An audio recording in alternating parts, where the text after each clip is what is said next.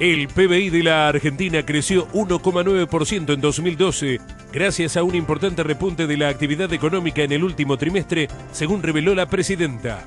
Agustín Rossi aseguró que el acuerdo con Irán será debatido en la Cámara Baja el 27 de febrero. Un informe de gestión revela que Julio Cobos realizó decenas de viajes en avión sin plena justificación y junto a nutridas comitivas. El metro delegado Roberto Pianelli dijo que Mauricio Macri cerró la línea A solo para reinaugurarla con un acto político. Florencio Randazzo confirmó que la próxima semana se sumarán nuevas formaciones reparadas a la línea de tren Sarmiento. Carlos Bianchi admitió que Boca tiene problemas tras la derrota en la Copa ante Toluca por 2 a 1.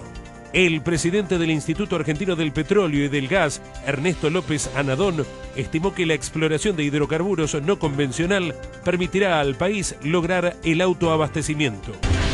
Bye.